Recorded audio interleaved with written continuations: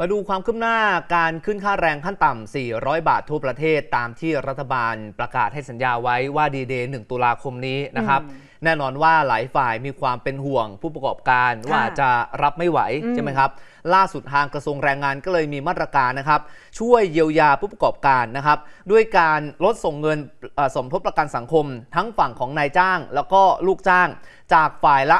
5%ค่ะเหลือฝ่ายละ 2%นะครับอืมบอกว่าจะเสนอครมเร็วๆนี้นะครับ ท่านผู้ชมครับหลังจากที่ก่อนหน้านี้กระทรวงการคลังกำลังพิจารณาแนวทางที่จะช่วยเหลือผู้ประกอบการเฉพาะกลุ่ม SME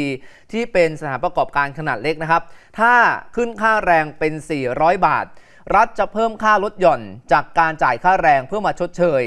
ล่าสุดกระทรวงแรงงานเตรียมมาตรการออกมาช่วยเหลือผู้ประกอบการเช่นเดียวกัน โดยเป็นมาตรการระยะสั้นนะครับ ด้วยการลดการส่งเงินสมทบประกันสังคมของฝ่ายนายจ้างและลูกจ้าง จากเดิม ที่ส่งกันเนี่ยฝ่ายละ 5%ก็ลดลงมาเหลือฝ่ายละ 2%นะครับโดยลดลงไป 3%ของฐานค่าจ้างเป็นเวลา 3 เดือน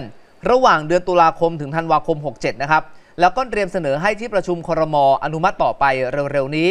ส่วนการขึ้นค่าแรงขั้นต่ำ ตอนนี้อยู่ในขั้นตอนการหารือกับคณะกรรมการค่าจ้างไตรภาคี เพื่อประเมินความพร้อมของแต่ละอุตสาหกรรมนะครับ และจัดเตรียมมาตรการช่วยเหลือสำหรับธุรกิจที่อาจได้รับผลกระทบ ซึ่งที่ผ่านมามีกลุ่มผู้ประกอบการแสดงความไม่เห็นด้วยกับการเพิ่มค่าแรงขั้นต่ำที่ 400 บาททั่วประเทศนะครับ เนื่องจากปัญหาเศรษฐกิจหลายภาคอุตสาหกรรมได้รับผลกระทบเป็นอย่างมากนะครับ ขณะที่ทางภาครัฐเองก็ยืนยันว่า นโยบายนี้จะต้องดำเนินการตามที่กำหนดไว้ และทราบถึงผลกระทบที่อาจจะเกิดขึ้น ซึ่งการลดการส่งเงินประกันสังคมเหลือ 2%เทียบเท่ากับการที่รัฐบาลช่วยรับภาระการขึ้นค่าแรงของนายจ้างนั่นเองนะครับตัวอย่างเช่นปัจจุบันค่าแรงขั้นต่ำในกรุงเทพและปริมณฑล 6 จังหวัดนะครับ รวมแล้ว 363 บาทต่อวัน หากปรับค่าแรงเป็น 400 บาทต่อวัน นายจ้างจะต้องจ่ายเพิ่ม อีก 37 บาทต่อวัน แต่เมื่อรัฐบาลส่งเงินสมทบประกันสังคมให้นายจ้าง 3%เทียบเท่ากับได้ลดค่าใช้จ่ายให้กับนายจ้างลงวันละ 12 บาททำให้ภาระที่นายจ้างรับจริงอยู่ที่วันละ 25 บาทนะครับ